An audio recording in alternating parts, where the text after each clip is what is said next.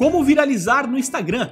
Nesse vídeo eu vou te mostrar seis técnicas para você aplicar que você vai conseguir aumentar muito as chances de você viralizar no Instagram e são técnicas atualizadas, né, que estão funcionando nesse momento aqui. Indo direto ao ponto, qual seria a primeira técnica?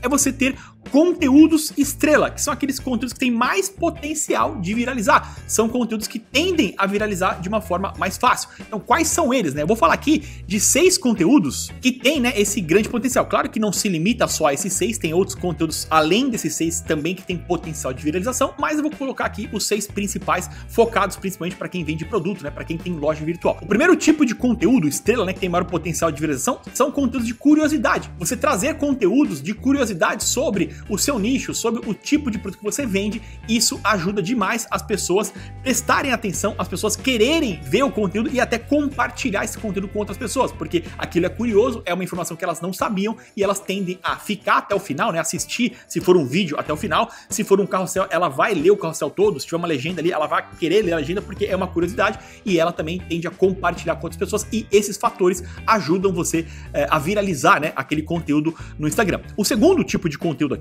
são conteúdos de resultado, onde você mostra o resultado, por exemplo, que o seu produto traz. Você mostra a transformação que o seu produto tem na pessoa. Então, independente do nicho que você atua, dá para mostrar resultados. Normalmente, né, os nichos mais usados com resultados é nicho de emagrecimento, nicho de maquiagem, que você consegue mostrar ali os resultados de forma mais explícita. Mas, por exemplo, se você vende moda, dá para você mostrar a foto de uma pessoa é, é, sem vestir a roupa que você vende, né, sem vestir o look que você vende, e depois mostrar a foto dessa pessoa vestindo o look que você vende para mostrar a transformação.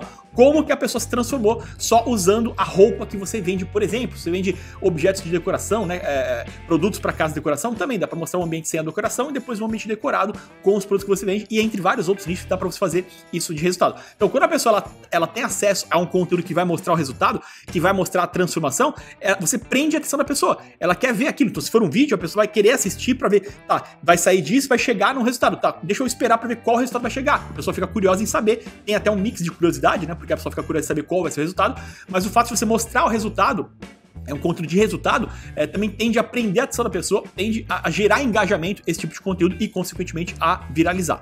É, um terceiro tipo de conteúdo aqui é o conteúdo de review de produtos, onde você apresenta o seu produto, né, é, mostra as funcionalidades, os benefícios, as principais vantagens do seu produto. Normalmente, esse review é feito em formato de vídeo. Então, você ter um vídeo apresentando o produto é um tipo de conteúdo também que prende a atenção das pessoas, claro que prende a atenção do, do público que tem interesse naquele produto. Né? Então, a gente está falando aqui que você tem uma conta, um perfil no Instagram, e você você se comunique com o público-alvo que uh, tem interesse no seu produto. Então, nesse caso, quando você faz o review do seu produto, mostrando ali os produtos, as características, as vantagens dele, tende a prender a atenção daquela pessoa porque ela quer saber, ela quer conhecer mais o produto, ela quer uh, se inteirar sobre aquele produto. Então, esse tipo de vídeo, ele atrai a atenção e retém a atenção das pessoas por mais tempo, por ser um conteúdo de apresentação de produto. Claro que a apresentação tem que ser dinâmica, né? Tem que ser de uma forma que as pessoas realmente fiquem interessadas. Não pode ser uma apresentação ali com uma energia baixa, uma apresentação mais monótona, porque isso não vai prender a atenção de ninguém. Então tem, não é só o review, né? A maneira como ele é apresentado conta bastante também nesse caso, tá?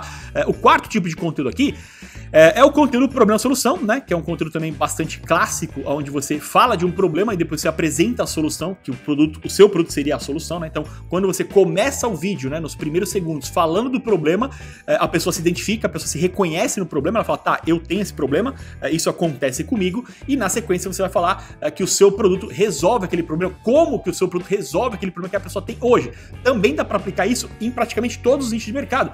Todo nicho de mercado, o produto que você vende, ele resolve um problema. Ele satisfaz um desejo e também resolve o problema do seu nicho de atuação ali. Então você tem que entender, tá? Qual o problema que esse meu produto resolve para eu conseguir abordar esse problema aqui no começo do vídeo, né? Falar do problema para a pessoa se reconhecer e na sequência mostrar que o meu produto ele resolve aquele problema para a pessoa. Então, se eu pegar, sei lá, nicho de moda, uh, as pessoas têm vários problemas relacionados à moda. Pode ser uma roupa que tem um tecido ali que desbota fácil, uh, uma roupa que encolhe, né? A pessoa lava ali, o tecido ele encolhe rápido. Então a pessoa tem esses problemas. A pessoa, ela, pô, eu sempre tenho esse problema de a roupa desbotar, a roupa esgarçar a roupa é, é, é, encolher, ou a roupa ela não é confortável, roupa pinica. Então, tá, quais são os problemas que, por exemplo, as pessoas é, que, que, que, acompanham você têm relacionado com o produto que você vende, né, de outras marcas. E aí você pode abordar aqueles problemas para você mostrar que o seu não tem aquilo, né, que o seu é a solução.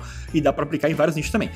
É, o quinto seria inovação e novidade. Então, quando você traz um conteúdo de inovação, que é uma novidade que as pessoas não conheciam, ele tem um potencial enorme de viralização, porque as pessoas elas vão compartilhar para as outras. Então, as pessoas quando elas veem algo que é muito inovador, que é muito novidade, elas costumam não guardar só para elas, elas costumam querer compartilhar com um amigo, com esposa, com marido, né, com mãe, com pai, com quem quer que seja aquela novidade, aquela inovação. Então, se o seu produto, se o seu nicho tem essa característica de ter produtos inovadores, produtos que são novidade, que as pessoas normalmente não conhecem, uma funcionalidade que tem no seu produto, uma característica que as pessoas falam, pô, não sabia que tinha isso, pô, não sabia nem que isso existia, não sabia nem que dava para fazer isso com esse produto. Então, quando você aborda uma inovação do produto que você vende, é, que as pessoas normalmente não conhecem, tem esse fator de novidade, de inovação, e esse fator é muito é, forte, né, para você conseguir aumentar a chance de viralização do seu conteúdo.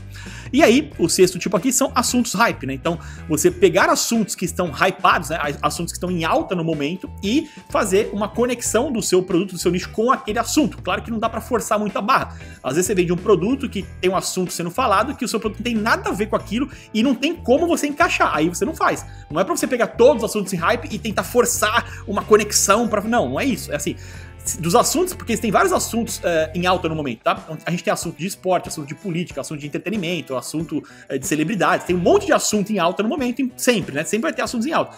E aí você tá, desses assuntos que estão em alta, quais tem mais relação com o que eu vendo? para eu conseguir fazer uma conexão com ele, né? Se, se der sentido. E aí você pode usar essa conexão para você falar do seu produto, para você apresentar né, o, seu produto ali, conectando com o assunto que está em alta, porque como o assunto está em alta, o seu conteúdo que fala daquele assunto tende a, a hypar, né, tende a, a, repercutir bem, porque você está falando de um assunto que está em alta, e nesse assunto você está falando do seu produto junto uh, é, para ter essa conexão. Então isso funciona muito também, tá?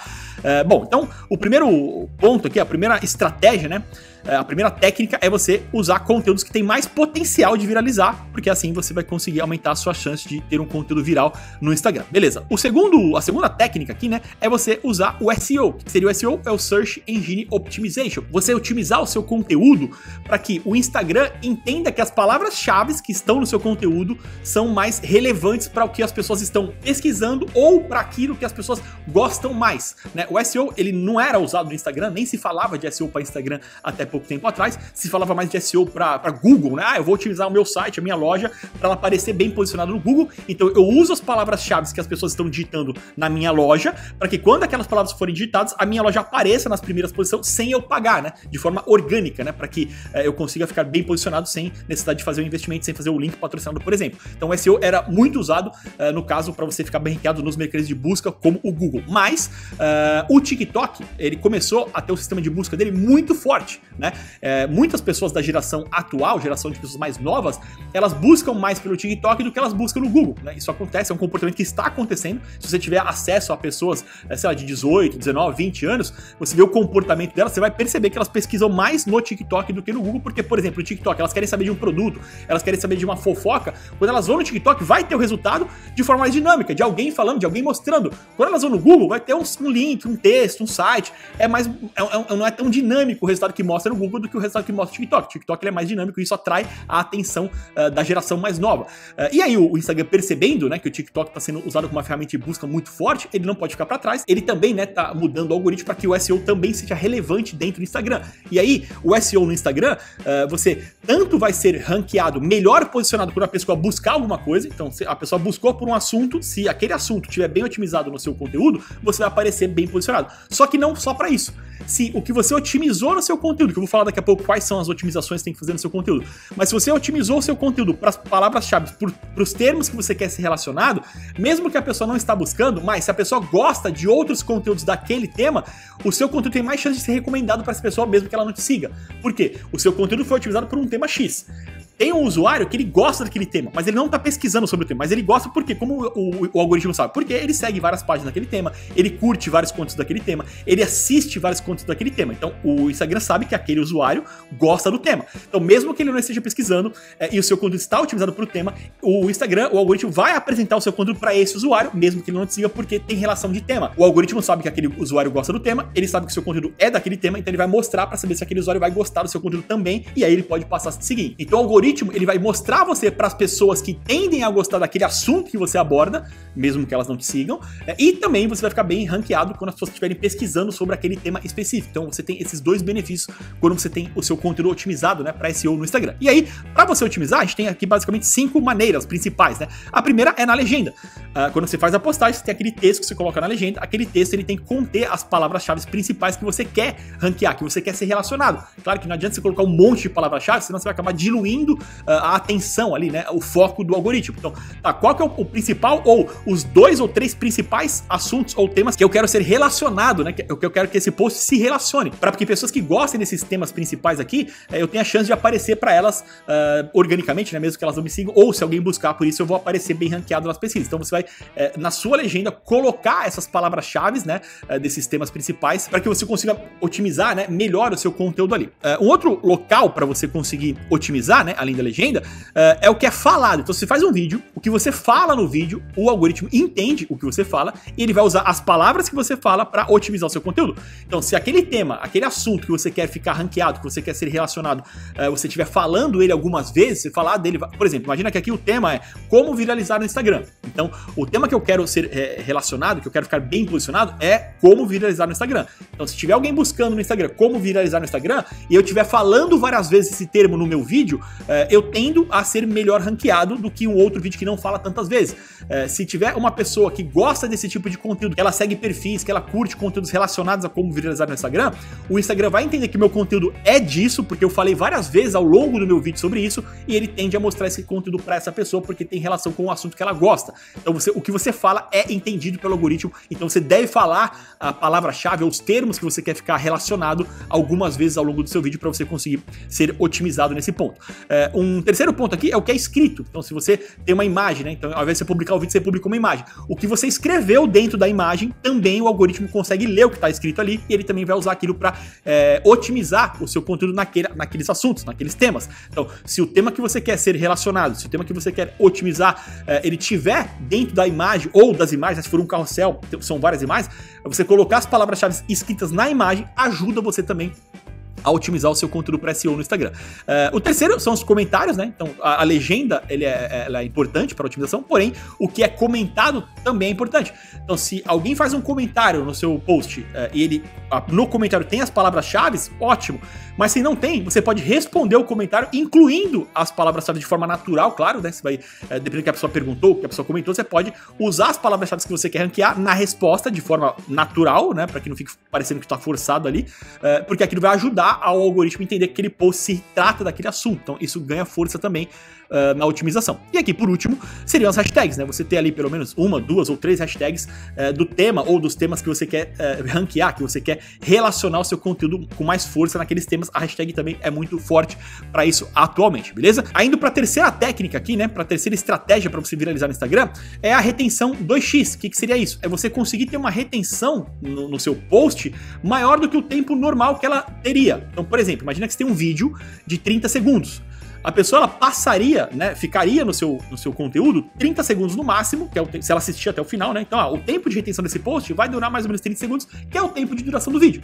Mas, se você tiver uh, uma legenda completa, né? Se você tiver muitos comentários no seu conteúdo, aquela pessoa vai passar muito mais de 30 segundos no seu, no seu vídeo, porque ela vai assistir o vídeo inteiro, depois ela vai ler a legenda, e a legenda é completa, ela vai gastar ali mais, sei lá, um minuto ou mais para ler a legenda, depois ela vai nos comentários, vai ler os comentários, então ela ficou ali 3, 4, 5 minutos num post, que normalmente a pessoa pessoa ficaria 30 segundos. Então essa retenção, ela é duas vezes ou mais de duas vezes do que o tempo normal que ela teria. Então coloque retenção 2x, é que é no mínimo o dobro de retenção a pessoa fica no seu post. Então se ela deveria ficar 30, ela ficou um minuto, já é uma retenção 2x. Se ela ficar 2, 3, 4, 5 minutos, melhor ainda. Então quanto mais tempo você manter a pessoa no conteúdo, vai ser melhor. E se você conseguir manter a pessoa mais tempo do que o normal, melhor ainda, porque o algoritmo vai entender que seu conteúdo é relevante.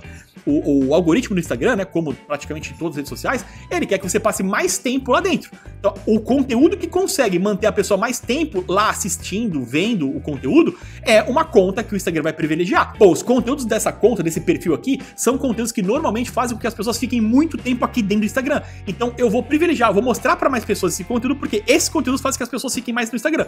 Se tiver um conteúdo que as pessoas fiquem 3 segundos, 2 segundos, 5 segundos do conteúdo e sai, esse conteúdo o Instagram não tem, é, porque querer privilegiar, ele não vai querer mostrar esse conteúdo para outras pessoas, porque é um conteúdo que não deixa as pessoas lá dentro.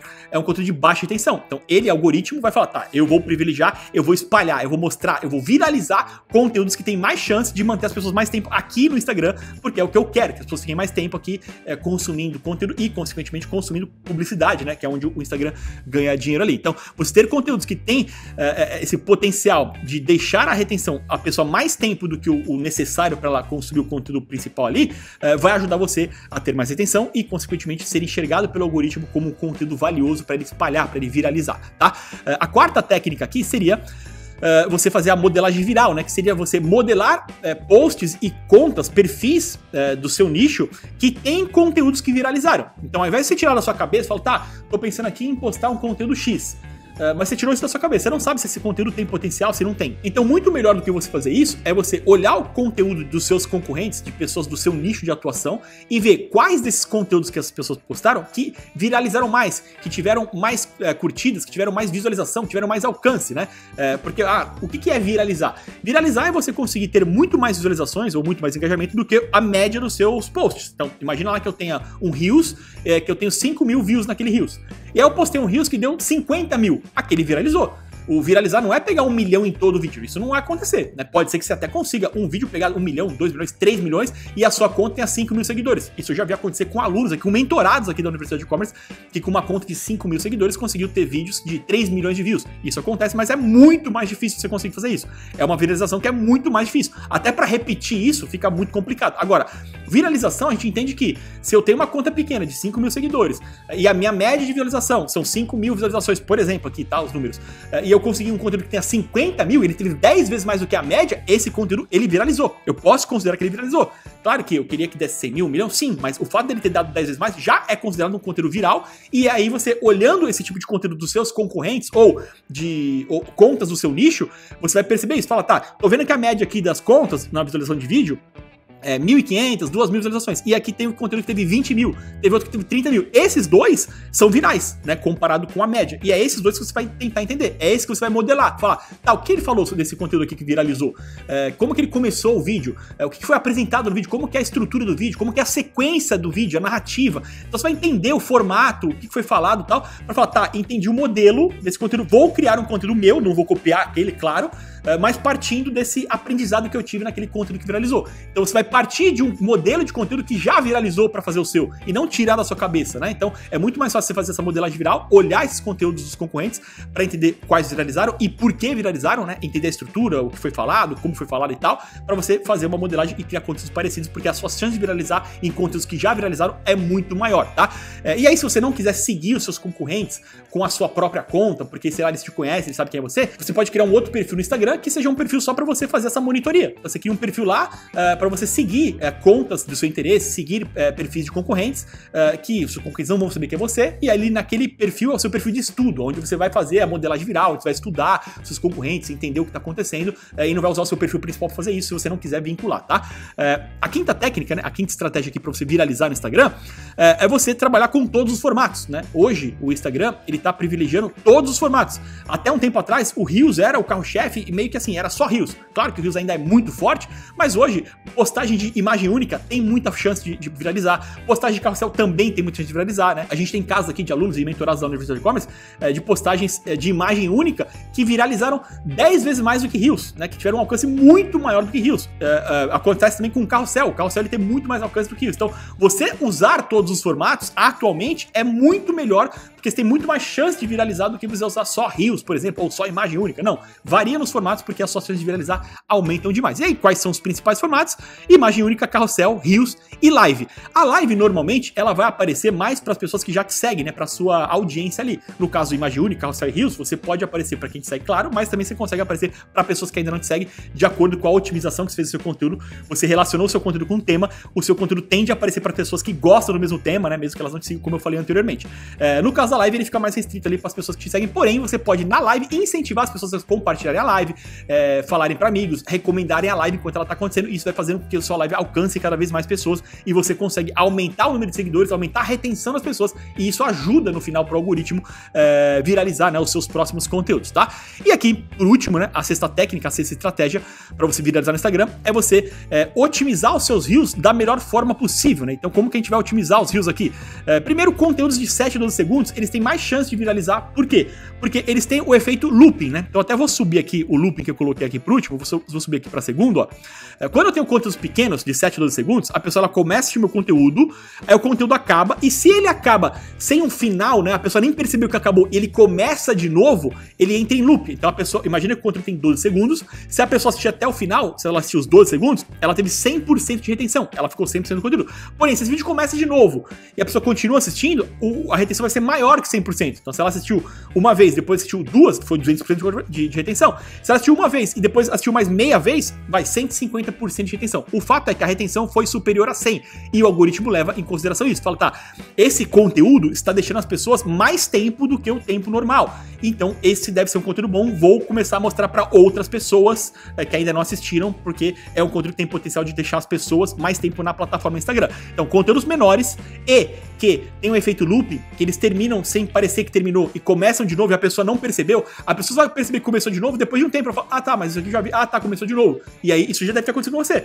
Você tá assistindo um conteúdo no Instagram, é, você assiste até o final e começa de novo e depois de um tempo você percebe que começou de novo. É o efeito loop. Ele termina sem ter uma conclusão, né? Ele não tem um desfecho ali, tá? Ah, então é isso, valeu, obrigado. Não tem essa é, conclusão. A pessoa, ela não percebe que terminou. Tem que ter esse elemento no seu conteúdo.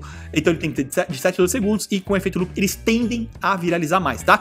Você tem no seu conteúdo uma headline, né? Um, um título dentro do vídeo chamativo, um título curioso, um título que desperta a atenção da pessoa, ela querer continuar assistindo aquilo. Então, se você já tem no seu vídeo, dentro do vídeo, tá? Um título aí, que seria a headline, um título principal interessante, que chame atenção, que gere curiosidade, isso vai prender a atenção da pessoa para ela querer continuar assistindo o seu vídeo, para saber o que vai acontecer baseado naquele título que você colocou. E lembrando que sempre os, os três primeiros segundos do seu vídeo, eles são fundamentais, é onde a pessoa decide se ela vai continuar assistindo ou não o seu conteúdo. Então, se os três primeiros segundos do seu vídeo for fraco, a pessoa vai rolar para cima e vai pro próximo e você não vai ter aquela pessoa assistindo o seu vídeo. Se os três primeiros segundos chamar atenção, despertar curiosidade, né, tiver dentro daqueles pontos que eu falei no primeiro tópico aqui, né, daqueles seis tipos de conteúdo que mais tendem a viralizar, é, se você começar o seu vídeo, os três primeiros segundos, de forma realmente que chame, que desperte a atenção das pessoas, elas vão ficar mais tempo e aí você tem muito mais chance de viralizar esse conteúdo. Claro que todos os pontos que eu falei aqui tem que levar em consideração que o seu conteúdo tem que ser bom, né? O conteúdo bom é o que manda. Nada vai acontecer se o conteúdo for ruim. Você não vai conseguir nenhuma das técnicas que eu falei, se o conteúdo for ruim, vai funcionar. Por quê? Porque a sua retenção vai ser baixa. Um conteúdo ruim, ele tem baixa retenção. Se um conteúdo ruim de vídeo, ele tem poucas pessoas assistindo, a pessoa assiste poucos segundos do vídeo. Se for um conteúdo de imagem ou carrossel, a pessoa vai ficar pouco tempo lendo a imagem, ou, ou ela nem vai rolar o carrossel, ela não vai ler legenda. Então, a retenção no, como um todo do aquele conteúdo, sendo vídeo ou não, vai ser baixíssima, porque o conteúdo é ruim. E aí, nada adianta. Nenhuma técnica, nenhuma estratégia vai funcionar com um conteúdo ruim. Só vai funcionar se o conteúdo for bom, se gerar valor, se as pessoas realmente gostarem do que elas estão vendo ou assistindo. Aí a retenção aumenta, as pessoas ficam mais tempo naquilo, e aí sim as técnicas potencializam aquele conteúdo para ele ter mais chance de viralizar no seu Instagram, beleza? Bom, se esse vídeo foi útil para você, se você gostou desse conteúdo, se ele te ajudou de alguma forma, eu peço para você deixar o seu like como contribuição. E se você ainda não é inscrito aqui no canal, se inscreva, porque toda semana a gente tem novos conteúdos para ajudar você a começar da forma certa no e-commerce e alavancar cada vez mais as vendas com a sua loja virtual, beleza? É isso aí, valeu, até a próxima.